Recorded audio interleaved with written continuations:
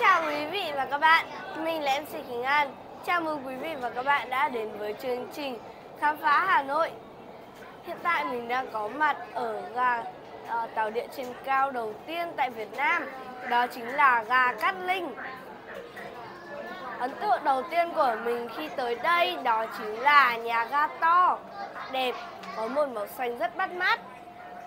Đặc biệt là ở đây có mỗi nhà ga có một uh, được tô điểm một màu sắc khác nhau như màu cam, vàng, xanh lá cây, xanh nước biển và những màu sắc khác nữa để chúng ta có những màu uh, để chúng ta có những bức hình lên hình rất Tây và uh, Hàn Quốc còn các bạn uh, thì sao? Các bạn đã đến đây chưa? Nếu chưa thì hãy thử đến đây một lần nhé. Còn bây giờ, xin chào và hẹn gặp lại.